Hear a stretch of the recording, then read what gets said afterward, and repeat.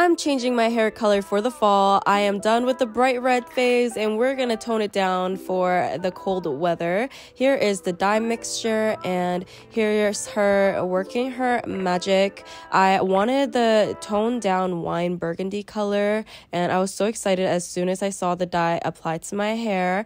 And here is her rinsing it out and we dried it and styled it but I didn't want my hair to stay short, so I booked a hair extension appointment as well. They customized the hair extension color to match my hair. Here's the little snippet, and here's her applying it and styling.